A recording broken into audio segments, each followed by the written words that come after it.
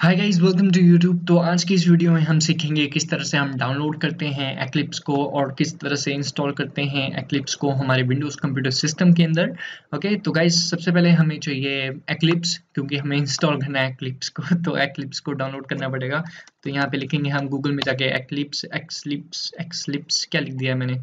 तो गूगल को पता है कि मैंने क्या लिखा। तो यहाँ पे जाते हैं। आ गया एक्लिप्स ओके तो फ़र्स्ट लिंक हमारे पास आएगी www.eclipse.org/downloads इसके ऊपर हम क्लिक कर देंगे ओके तो यहाँ पे कुछ इस तरह का वेब पेज ओपन होकर आएगा और हमें डायरेक्ट ऑप्शन मिल जाएँगी डाउनलोड करने की एक्लिप्स को। लेकिन हम इसमें क्लिक नहीं करेंगे क्योंकि हो सकता है कि आप में से कुछ लोग डाउनलोड करना चाहते हैं एक्लिप्स को जावा के लिए या फिर पीएचपी के लिए या फिर सी या सी प्लस प्लस के लिए तो उन लोगों के लिए ये इन्फॉर्मेशन है।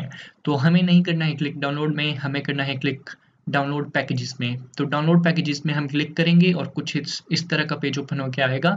अब एक और चीज़ मैं आपको बता दूँ, अगर आप विंडोज़ के लिए इंस्टॉल कर रहे हैं तो साइड में आपको ऑप्शन मिलेगी सिलेक्ट करने की विंडोज़ लिनक्स मैक अगर आप लिनक्स के लिए इंस्टॉल करना चाहते हैं तो लिनक्स को सिलेक्ट कीजिए। अगर आप मैक में इंस्टॉल करना चाहते हैं तो मैक को सिलेक्ट कीजिए। फिर इन्हीं प्लेटफॉर्म्स के लिए आपके पास जो है, सारे सेटअप डाउनलोड करने के लिए आएँगे। तो हम विंडोज़ में इंस्टॉल कर रहे हैं तो मैं यहाँ पे विंडोज़ सेलेक्ट करूँगा। ओके तो यहाँ पे हमें वेरियस ऑप्शन मिलेगी, जैसे कि हमें एक्लिप्स फॉर जावा ई मिल जाएगा। Eclipse for C C plus plus developers के लिए मिल जाएगा। एक्लिप्स फॉर पीएचपी इसी तरह से वेरियस जो है हमारे पास वर्ड वर्जन है क्लिप्स के, आप अपने लिए कोई भी डाउनलोड कर सकते हैं जिसकी आपको नीड है। अगर आपको जावा के लिए चाहिए तो जावा के लिए डाउनलोड कीजिए। अगर आपको सी के लिए चाहिए तो सी के लिए डाउनलोड कीजिए। अगर पीएचपी के लिए चाहिए तो पीएचपी के लिए डाउनलोड कीजिए। मेरे को यहाँ पे चाहिए सी के लिए तो मैं यहाँ पे डाउनलोड करूँगा सी के लिए। तो यहाँ पे आपको एक ऑप्शन मिलेगी 32 बिट की या 64 अगर आपका सिस्टम 64 बिट है तो 64 के लिए डाउनलोड कीजिए। अगर आपका सिस्टम 32 है तो 32 के लिए डाउनलोड कीजिए। मैं यहाँ पे 32 के लिए डाउनलोड कर रहा हूँ। ओके और क्लिक करने के बाद कुछ इस तरह का पेज ओपन होके आएगा और आपको डाउनलोड में क्लिक करना है। और यहाँ पे डोनेशन देने की ज़रूरत नहीं है। आपकी मर्ज़ी है डोनेशन देनी या नहीं देनी। तो अब मैं डाउनलोड कर लेता हूँ इसको।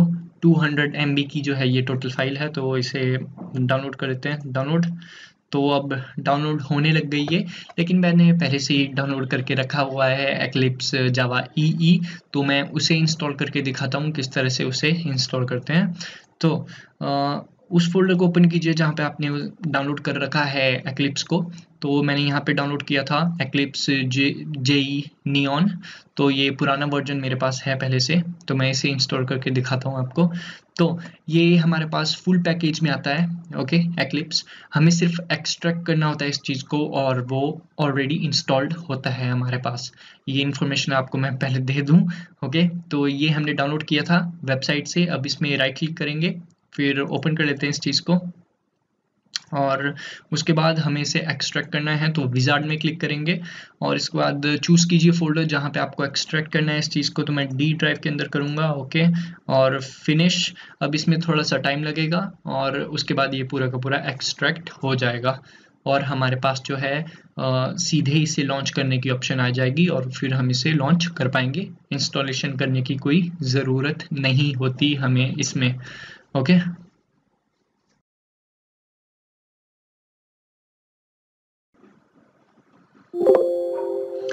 ओके गाइस तो यहाँ पे जब ये एक्सट्रैक्ट हो जाएगा तो कुछ इस तरह से ऑटोमेटिकली आपके पास विंडो ओपन होके आ जाएगी। अगर ना आए तो कोई बात नहीं।